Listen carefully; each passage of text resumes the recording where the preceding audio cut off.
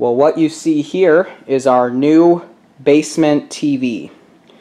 We've been looking to get one of these to watch Hulu on and to use for video games and for exercising in the basement. And we love our old Samsung TV from 2012 so much, we went ahead and got another one on Black Friday. We ordered this from Costco, right? Which has a lifetime return policy and it was cheaper than Best Buy. Oh, it's not lifetime no more? Oh, that sucks. How much was this? Like 160? I don't know. It's a 40 inch. I believe the one we have upstairs is a 46. It is the 5 Series N5200. And yes, it's China Pride, but we really couldn't. The thing is, too, if you look, that's actually my old bedroom TV, and we're going to hook up the SNES and the Atari 2600 and the Intellivision up to that, and then the Wii and if we get a PlayStation 2 or something, we can hook it up to this too. So my dad is currently on BOXing it. We were between this or LG, and we'd had good experiences with Samsung before, as you know. Uh, we've had two Samsung TVs, a CRT and then our current LCD, that have exceeded expectations and had zero problems. What is that? the. Weird. We yeah we had an old Samsung CRT that was 20 years old when we had it. I think it was from the 90s, so it was probably 10 years old. And then we gave it to a friend in like 2012, and then according to my dad, it's still going. Do not touch the screen when you're unloading. I don't touch the see screen. They, they're showing you. You don't touch the screen. But see, on a CRT, so yeah, it was between this or an LG I don't normally like LG. Um, I like Samsung more, at least with used stuff. This is A. So we went with the Samsung. There was also Vizio and Hisense, but they seem like lower quality brands. The Samsung and LG seem like the best electronic brands. Samsung in particular.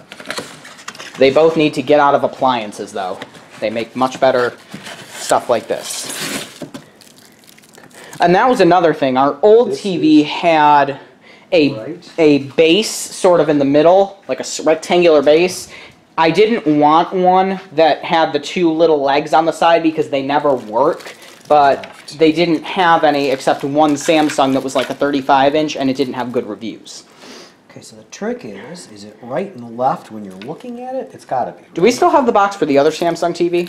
Right I wonder if it's in here. No, I threw it away when we You threw it away! Of course. Well, we're keeping that one. Right. Why would you throw it away? You keep all boxes. Well, Okay. it was a Samsung Smart TV. I think it's a 46 inch. I'm pissed at you. Do you want me to blur your face here? I'll blur your face. It is, yeah, 40 inch, and we're unboxing it. You have to lay it flat, don't you? It says you don't lay it flat. Oh.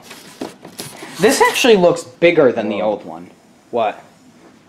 Oh my god, it's thin as shit. That's a 27 inch CRT. I have a new TV for my room. Um, and so that's gonna go in there, and I have a DVD player and a VHS player to put in there too. So is that the Sam? Is that the remote? Is it one of those new Sam? Oh, that's ugly. Ugly fucking TV remote. I love TVs because they see the they make me happy. So I will come back once we actually take it out of the box.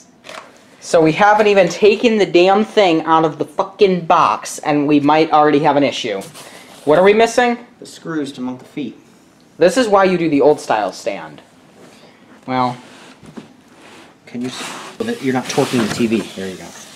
is the box clean? It was delivered by FedEx earlier Excuse today. Excuse me. Oh shit.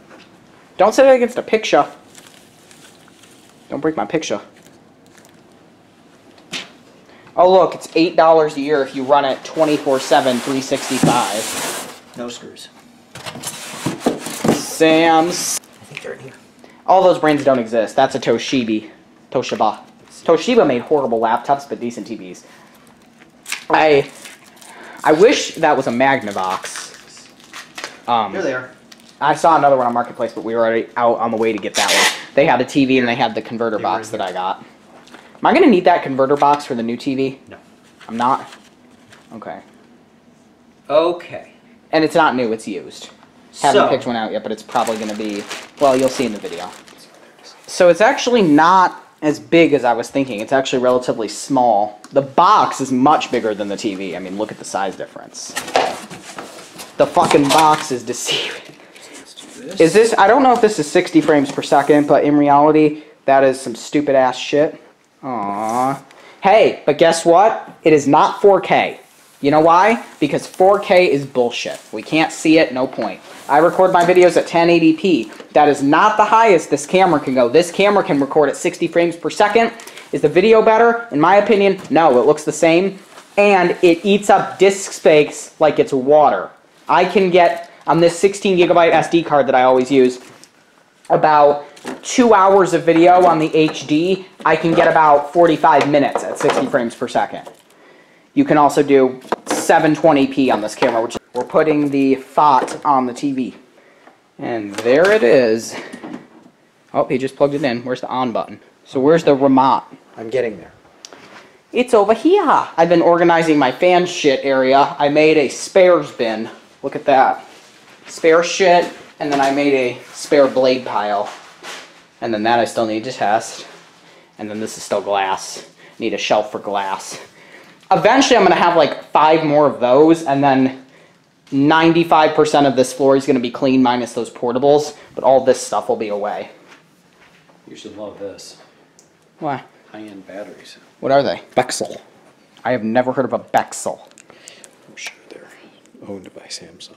I'm sure they're made by some third-party manufacturer too. Hey. You know what's funny? The manufacturer who made my ceiling fan is called Hongdong China Electric Co. Hong Dong. Yeah, Hong Kong or Hongdong.